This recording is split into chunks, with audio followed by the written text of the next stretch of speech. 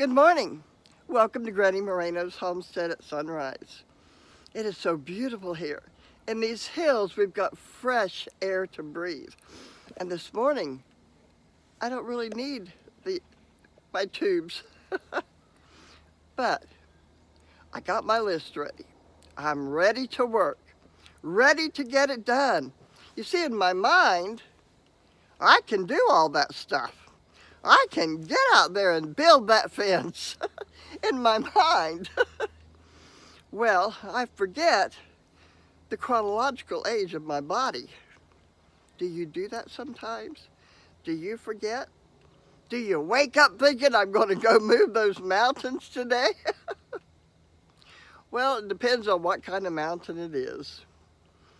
Well, I've got a big list and I'm going to make a dent in that list. I'm going to get it done.